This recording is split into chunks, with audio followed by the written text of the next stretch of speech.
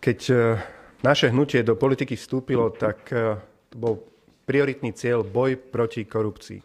Jednoducho chceli sme, aby na Slovensku popri iných politických stranách tu bolo aj také poctivé protikorupčné hnutie, kde jeho voliči alebo aj nevoliči budú mať e, istotu, že budeme vždy pozerať na prsty zlodejom správa zľava, bez ohľadu na to, či sú to naši ľudia alebo nie naši ľudia. A myslím, že za tých 9 rokov v politike sa nám to aj podarilo. Že dnes, keď e, sa aj ľudí opýtate, že kto bojuje proti korupcii najviac v parlamente, tak je to naše hnutie a my sme iba radi. Ale to už nech posúdia e, o to viacej ľudia. Rovnako budeme, ak aj vznikne alternatíva zo súčasných demokratických strán a my budeme jeho súčasťou, alebo budeme súčasťou tej alternatívy, tak rovnako vieme dať e, na základe skutkov a histórie na základe x zostrelených skorumpovaných úradníkov, na základe x odhalených eh, tendrov v hodnote miliard eur, ktoré sme takýmto spôsobom chránili, aby zostali v rukách ľudí a nie v rukách skorumpovaných strán a politikov. Na základe týchto skutkov jednoducho by nebolo fér, aby sme v budúcej koalícii rovnako neboli garantami toho, že budúca vládna koalícia nebude kradnúť. A tohoto si musia byť eh, alebo s týmto si musia byť istí a s týmto musia počítať aj prípadní naši partnery. Čiže ak by aj mali náhodou nejaké iné chúčky, vedia, že keď chcú, aby sme sa pridali, tak potrebujeme toto ako základnú istotu. Že nebude nikto kradnúť. Konečne po 30 rokoch, rokoch na Slovensku. Teraz k SNS a k obrane. Keď SNS e, dostala do rúk e, tento rezort, tak e, vojaci najprv zrození. Vojačky takisto. Ale keď za ministra obrany kapitán Danko menoval, alebo teda posunul svojho človeka, ale ich generála, čiže vojaka, ktorý mal skúsenosť, tak vojaci aj vojačky pozerali s veľkými očakávaniami. Konečne si mysleli, že obrana bude zodpovedná, dôveryhodná, nebude sa rozkrádať a vojaci a vojačky dostanú to, čo si zaslúžia. Konečne sa bude čisto a transparentne nakupovať a nebudú musieť sa prosiť e, o Kanady. Lenže SNS by zaprelo samú seba. A SNS bohužiaľ jednoducho nedokáže, keď vidí nejaký cudzí majetok, neurobiť všetko preto, aby ten majetok skončil na správnych účtoch a jednoducho tú slotovú DNA zo seba nedokáže zmyť. Náš tieňový minister obrany za chvíľu predstaví tender, keď to tak môžem v úvodzovkách nazvať, ktorý je ala nástenka ktorý svojho času organizovala viac ako pred desiatými rokmi takisto SNS. A keď budete vedieť podrobnosti, tak e, možno budete mať pocit, že to už asi nie. Že to už jak malí chlapci v škôlke. Že v dnešnej dobe, kedy by sme očakávali možno sofistikovanejšie formy kradnutia, takže v tom SNS si vymyslia niečo iné a že nezoberú ten starý manuál spred 10, 15, 20 rokov, kedy sa namieru šili uh, parametre súťaže tak, aby z toho osudia vypadol ten správny hráč. Lenže SNS jednoducho nedokáže zaprieť tú zlodejskú DNA, ktorú v sebe hlboko má. Možno aj preto, lebo kapitán Danko svojho času bol tým poslíčkom alebo pravou rukou Jana Slotu a mal sa od koho tým pádom učiť. Dávam priestor našemu tieňovému ministrovi obrany Jarovi Naďovi, aby odhalil biznis SNS za 400 miliónov eur ktorí si zorganizovali tak, ako malí chlapci v škôlke, ako svojho času to robil Jan Slota a jeho ľudia v rezortoch, ktoré mali pod patronátom. Nech sa páči. Ďakujem pekne, že ste prišli. Ďakujem, Igor, za slovo. Áno, tender na viacúčelové taktické vozidla 4x4, ktorý slávnostne minulý týždeň ohlasilo ministerstvo obrany, je na stole. Táto téma 4x4 je naozaj zaujímavá a dovolte mi len dve vety na začiatok. V minulom volebnom období, keď bol pán minister Peter Gajdoš zástupcom náčelníka generálneho štábu, sa o vozidlách 4x4 nehovorilo v rezorte vôbec. Vtedy bola téma vozidla bojové, obrnené vozidla 8x8. Možno si spomínate slávnostný podpis predsedu vlády Fica s polskou predsedkyňou vlády o tom, že sa ide spoločne robiť vozidlo a tak ďalej a tak ďalej. V tom čase bol pán minister Gajdoš tá, áno, v tom čase bol zástupcom náčelníka generálneho štábu.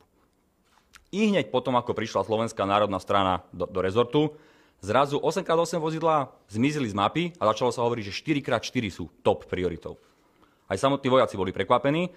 No a potom sa zistilo, že špecifikácia sa píše pre nejakú konkrétnu slovenskú spoločnosť. Jednoducho množstvo chaosu. No ale začal boj oligarchov a začali sa byť o to, či bude skôr 4x4 alebo 8x8. Zase 4x4 išli do úzadia, prišli 8x8, patrie, poznáme ten manuál na netransparentnosť. Ten sa zase nikam neposunul a zase išli do, do popredia vozidla 4x4. Áno, je to chaos. Áno, už to majú chaos všetci, nielen novinári, ale už aj ľudia, ktorí sa tomu venujú. Na konci dňa teda po tom, čo sme naozaj hovorili, že je na čase urobiť nejaký tender, po tom, čo sme videli divadelné predstavenia s vozidlami na záhorí, kde si zavolali médiá, ako oni vyberajú a ako presne vedia, čo chcú, tak nakoniec teda predsa len ministerstvo obrany spustilo teda, že oficiálne tender 6. júna tohto roku. Konkrétne na 424 vozidiel, áno, predtým to bolo ohlasované, že potrebujeme 404, myslím, teda je to 424, predtým sa hovorilo, že to bude 400 vozidiel za 800 miliónov, teraz to je 424 vozidiel za približne 400 miliónov z DPH. 50% na akože zľava. Povedzte mi, ako sa dá pomýliť o 400 miliónov pri rovnakom počte vozidiel. No, na prvý pohľad by to mohla byť akože dobrá správa, hej, že predsa len si povedali, že tá vata pre tých oligarchov bude menšia, že ušetríme 400 miliónov. Ale začal som nad tým premýšľať, že toto asi nebude také jednoduché, lebo však prečo by DNA a SNS sa malo zmeniť. No a tak sme sa na to pozreli trošku hlbšie. Prvá vec, o ktorej sa chcem baviť, je cena toho vozidla. Takže akože 50% zľava. Pravda je oveľa prozaickejšia. Namiesto toho, aby sa objednalo, obstaralo 400 vozidiel presne tak, ako boli našpecifikované zo strany ozbrojených síl, to znamená vozidlá prepravné, vozidlá Eh, na RHB ochranu, teda radiologicko-chemicko-biologickú, vozidla veliteľské, vozidla zdravotnícke a tak ďalej. To znamená špeciálne vozidla so špeciálnou úpravou, so špeciálnym dovybavením, tak sa ide obstarať 424 vozidiel, nie úplne holých, nie úplne holých, ale takmer holých. Bez špeciálnej úpravy. Čo to znamená? To znamená to, že to vozidlo príde, ale nebude použiteľné okamžite, ale bude treba ho doobstarávať. Teraz si predstavte situáciu, že si idete kúpiť osobný automobil. Tak buď si ho kúpite s klimatizáciou a s GPS systémom, alebo bez. No keď si ho kúpite bez, tak bude stať nejakú sumu a keď tomu dokúpite ďalším obstarávaním alebo ďalšou objednávkou ďalšiu výbavu, tak to bude stať vždy viacej, ako keď sa to kúpi náraz v balíku. Rozumiete mi? To znamená, namiesto toho, aby sa to kúpilo v balíku, za nejakú sumu, tak oni teraz povedia, my sme vlastne lacno nakúpili, my ideme 400 holých vozidel kúpiť, alebo teda málo vybavených, ale potom sa neskôr bude musieť dokupovať do toho výbava a nakoniec to nebude 800 miliónov, ale bude to možno aj miliarda. To je prvý aspekt. Druhý aspekt, pamätáte si na tie holé vrtulníky Black Hawk, ktoré obstaral pán minister Glvač? Ktoré prišli na Slovensko a do dnešného dňa, keď e, napríklad horia lesy, tak to musia staré vrtulníky Mi-17 polievať pretože tie vrtulníky Black Hawk boli holé. Bez výbavy. A teraz nakúpil, nakúpil rezort do toho výbavu, vyšlo to strašne veľa peňazí, teraz začínajú s tým robiť a do dnešného dňa sa polieva starými vrtulníkmi. No tak ak nakúpia naozaj tieto takmer holé vozidla 4x4, tak jednoducho to nové vedenie bude musieť dokupovať veci a tie vozidla sa budú koľko e, ešte ďalej doobstarávať a dovybavovať. Jednoducho nezmysel. Čo je za tým? No podľa mňa tri dôvody. Prvý dôvod je ten, že vedia, že by nedokázali už obstarať tieto vozidlá do volieb a potrebujú biznis silou mocou ešte do volieb nejaký uzavrieť. Takže jednoduché riešenie, nenašpecifikované vozidlá v nejakej základnej výbave nakúpme, biznis sa urobí a potom ďalšia vláda nech si s tým už robí, čo chce. Druhý dôvod, navyše znižíme cenu o 50% takže naši koaliční partneri a ľudia si budú myslieť, že aký sme my vlastne transparentní, že koľko sme ušetrili a že to je vlastne dobrý biznis pre rezort. No a po tretie, ten podľa mňa aj veľmi dôležitý dôvod je ten, že firma, ktorú majú dopredu vybranú, ten ich favorizovaný dodávateľ, nedokáže v takom krátkom čase tak komplexne zabezpečiť vozidlá. A to asi preto, lebo to nebude nejaký príliš veľký hráč v obrannom priemysle. Takže cena je samo sebe jedno veľké klamstvo a treba za tým hľadať reálnu príčinu. Proces obstarávania. Všetci záujemci majú predložiť svoje ponuky do 2. júla. 400 miliónový tender ohlásia 6. júna A firmy majú necelý mesiac na to, aby sa do toho prihlásili.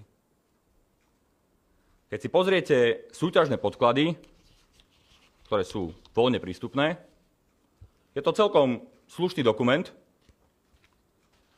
Týmto majú prejsť, prejsť firmy, aby sa dokázali v priebehu troch týždňov prihlásiť do tendra za 400 miliónov. S množstvom podmienok, ktoré musia splniť. Čo sa tak ponáhla to ministerstvo zrazu po troch rokoch nič nerobenia a chaosenia? Nikto ma nepresvedčí, nikto ma nepresvedčí, že firma, ktorá je dopredu predurčená, už dávno na, to, na tých podkladoch nerobí.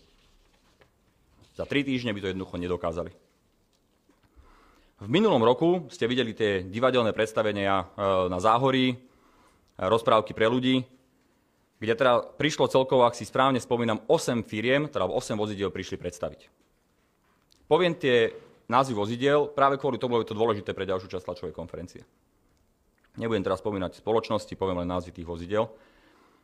Vozidlo Alligator Master 2, Cobra 2, Eagle, Elder Yalcin, Patriot, Sherpalight, Perun a vozidlo Gerlach. Samozrejme, že pri takýchto tendroch sa dávajú nejaké požiadavky, ktoré by tie vozidla mali splňať. Týchto 8 vozidel, ktoré som povedal, sú vozidla, ktoré sú ponúkané a mnohé z nich sú zavedené v armádach po celom svete.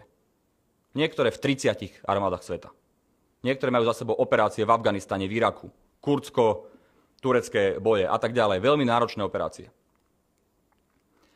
Naše ozbrojené sily si ale dali svoje technické požiadavky, ktoré teda veľmi nutne potrebujú, aby boli splnené, aby to vozidlo bolo adekvátne teda pre slovenské ozbrojené sily.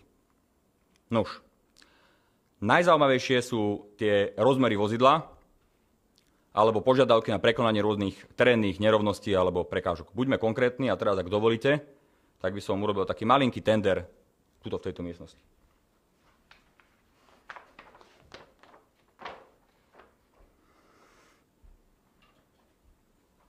Toto je výber z niekoľkých operačných požiadaviek ozbrojených síl, súťažných podkladov. Tie súťažné podklady mám tu.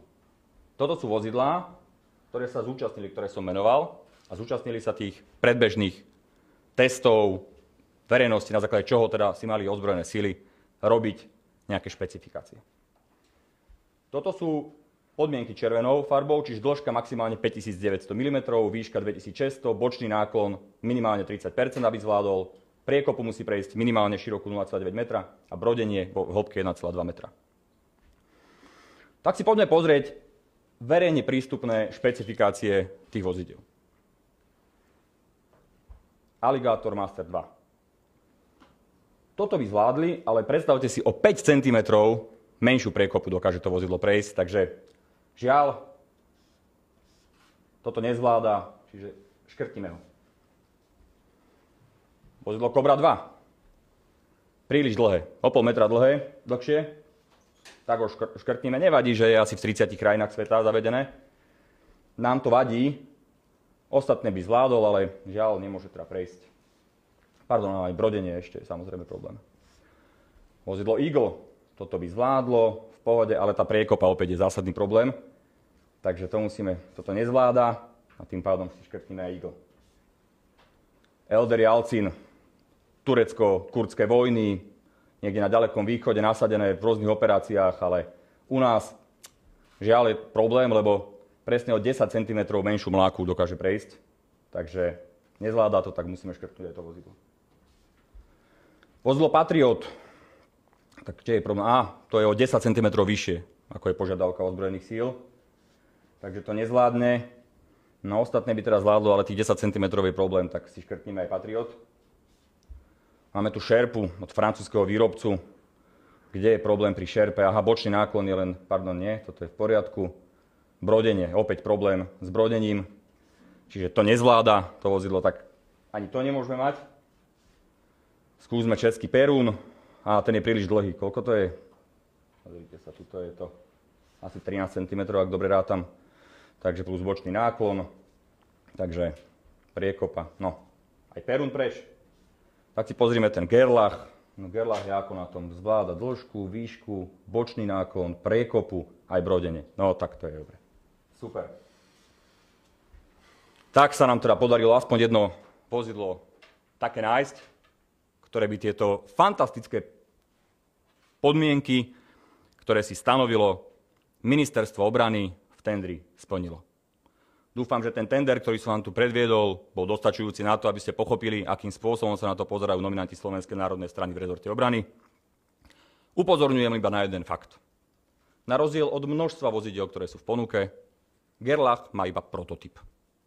To vozidlo nie je zavedené nikde vo svete, to vozidlo nie je v žiadnych ozbrojených silách, nemá za sebou žiadne operačné skúsenosti, ale ako na potvoru práve toto vozidlo splňa presne tie stanovené podmienky pre naše ozbrojené sily. Nevadí, že tie ostatné sú po celom svete zavedené. Stačia americkej armáde, nemeckej, dánskej, tureckej, švajčiarskej, hoci akej, francúzskej, britskej, ale pre naše ozbrojené sily tie vozidla vhodné nie sú. Takže myslím si, že by sme si mohli ušetriť mesiac divadelného predstavenia v rámci tendra, ktorý predstavil ministerstvo obrany. A rovno zajtra Môžeme požiadať účastníkov, aby sa vzdali, lebo nesplňajú a ten jeden môže zvíťaziť. Čiže aká je cesta vpred? Jedinou cestou vpred je okamžité zrušenie tohto paškvilu, ktorý predvedlo ministerstvo obrany, okamžité zrušenie tohto tendra. A pán premiér by mal teda sa držať svojich slov, ktoré povedal, že len vtedy, keď budú schválené strategické dokumenty, bude vôbec debatovať o nejakom väčšom obstarávaní na ministerstve obrany. Tak ja naozaj mu fandím v tomto, nech schvália strategické dokumenty v Národnej rade, ale zároveň nech konečne dá jasný príkaz, aby nominanti Slovenskej národnej strany, ak ostanú v tom rezorte, nech už len kúria a svietia. Už ani kúriť nemusia aj teplo. Lebo každý jeden deň máme od nich jednu kauzu za druhou.